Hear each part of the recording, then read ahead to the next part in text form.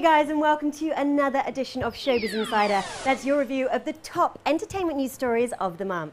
I'm Zoe, and today the show comes to us from the Super Club. That's the brand new Pacha Dubai. So if you haven't partied here yet, we've got coverage from the opening night. But before that, we're going to take a look at top trends on the catwalk at the Vogue Fashion Dubai experience. But first, it's up to the capital for Abu Dhabi Art.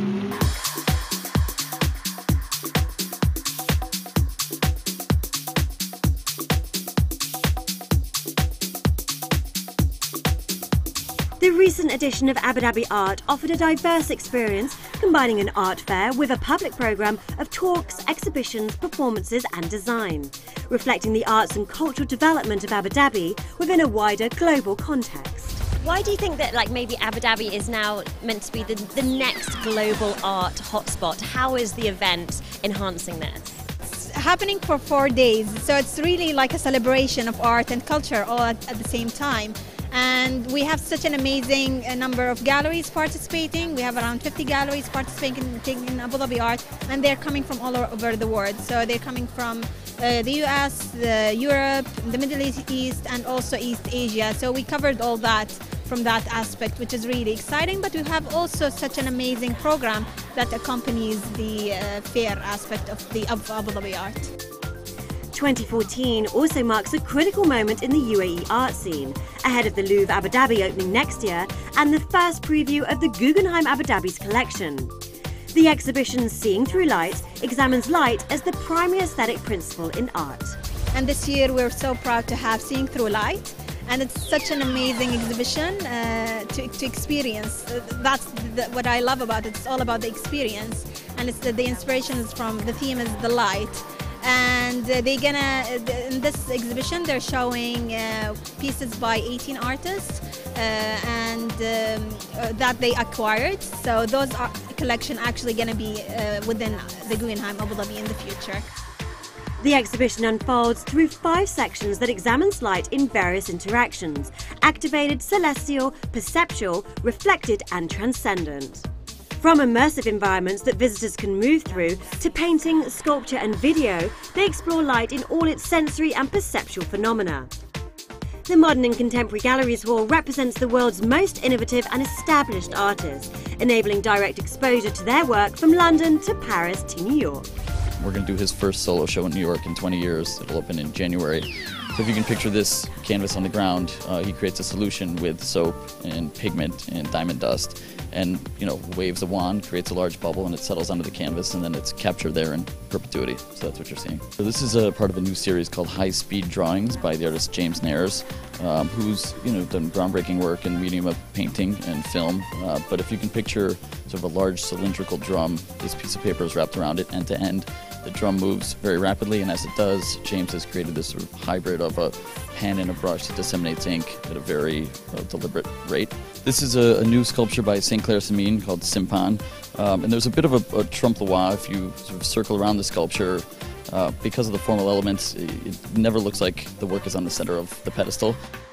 Redefining the decorative arts for the contemporary age, Studio Job create highly expressive one-off works using a variety of techniques and materials. Automobile was created with a Land Rover Defender, aluminium, bronze, brass, European oak, Swarovski crystals, hand-blown glass and paintings. It's designed by Studio Job. It's a couple of Dutch designers and they are very creative. They had the idea to design a Land Rover to pay a tribute to Land Rover. It was the anniversary, the 65 years old of Land Rover. And so they decided to custom the car with a lot of references. You have references to other collections.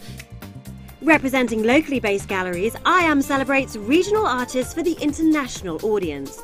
But with this amount of established and new talent, what's the actual process behind selecting works to display at the art fair? Well, I think first of all they have to be very representative of um, um, the gallery's program and the artists we value and the artists that really um, mean something in the art world that have achieved great things, whether they're just emerging or established artists. Moving literally out into the city, the Art Beyond showcase aims to introduce art to public spaces.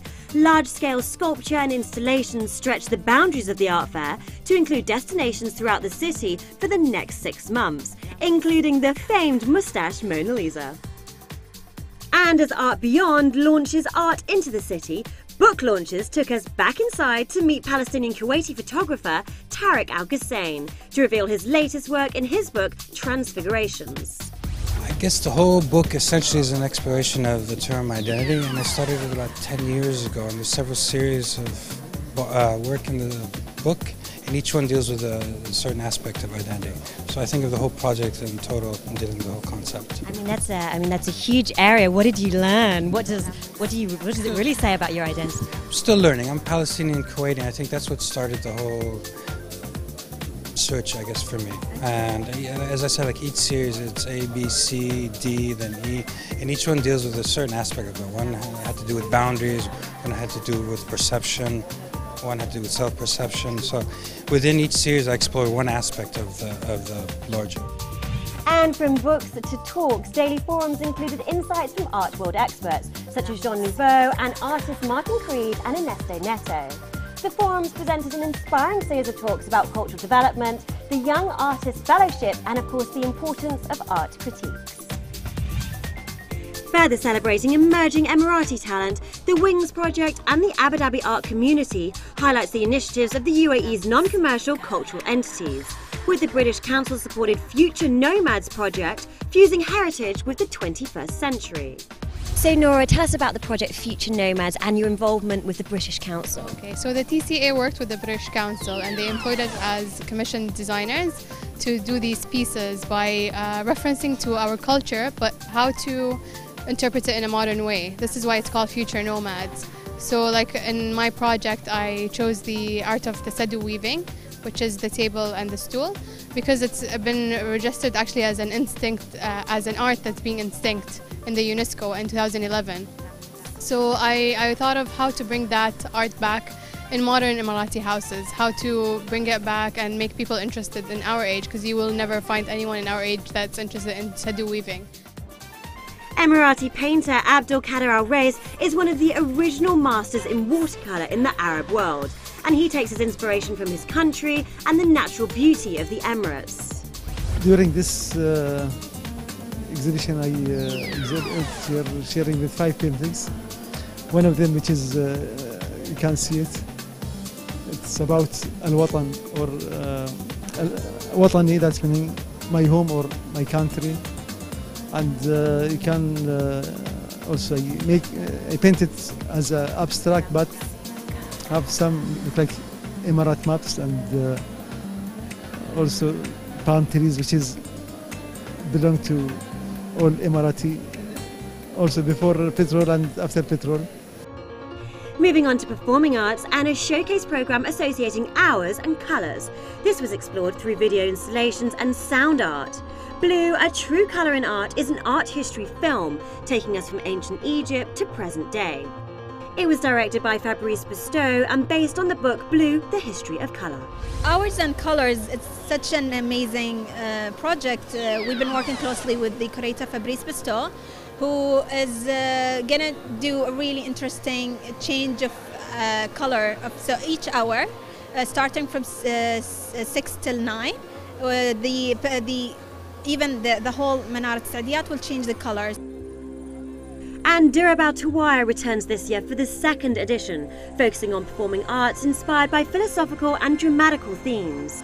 Joe Namy's automobile piece is inspired by car stereo subcultures found in urban settings. Eight local cars with custom designed stereo systems its sound art sync to each other to present male youth culture.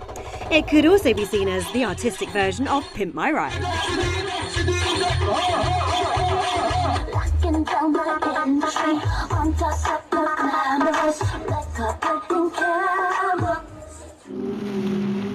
So, from art in Abu Dhabi to fashion in Dubai. Could Dubai be the next global fashion destination? That's coming up.